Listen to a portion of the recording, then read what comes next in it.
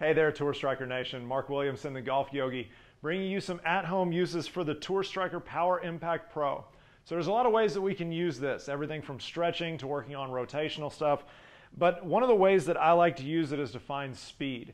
So when we're trying to increase club head speed, we're not trying to swing harder, we're trying to swing faster. And a great way to do that is to get the body moving fast. If you don't train fast, it's going to be a lot harder just to speed up your swing a little bit.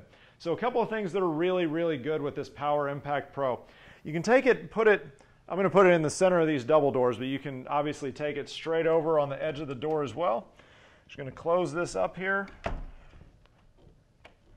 And then once we get this in, make sure it's nice and tight, not going to come flying back and hit you. I like to get in front of this and take a grip, same as you would with a golf club, and we're just going to start moving right to left. Now you can feel like you're starting to speed this up, but when you're doing this, and I'll show you this in front of me here, we're not trying to swing the arms and bend the elbows as fast as we can. We're actually keeping this in front of us, working this big rotation all the way through the back, all the way through the shoulders. So we get a little bit of tension through that cord, start to work it right and left.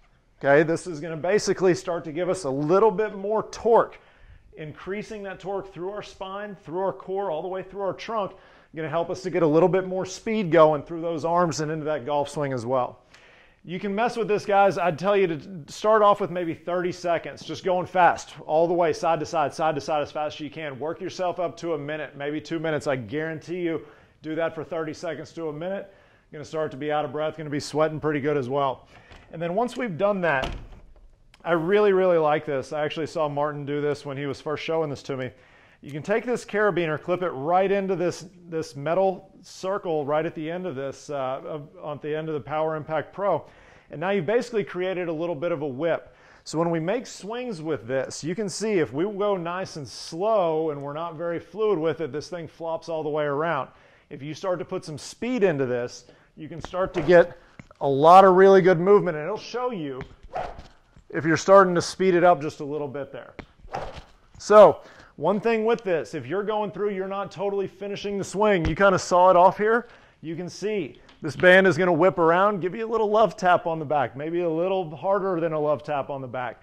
So make sure you're finishing this. When we're getting all the way around, we're trying to create that speed right through that hitting zone. And this will stretch out a little bit as you swing it. So you can see this isn't hardly touching the ground here. As I swing it, you can hear it touching the ground all the way around. And one thing when we're working speed, we always balance it out. So if you're a righty, make those right-handed swings, then turn it around, might feel a little goofy. Try to make those left-handed swings as well. Just trying to balance out the body here a little bit. So Power Impact Pro guys, great, great way that you can work a little bit on your golf fitness, little stretching, little rotation work at home, and also some great speed work for the golf swing as well.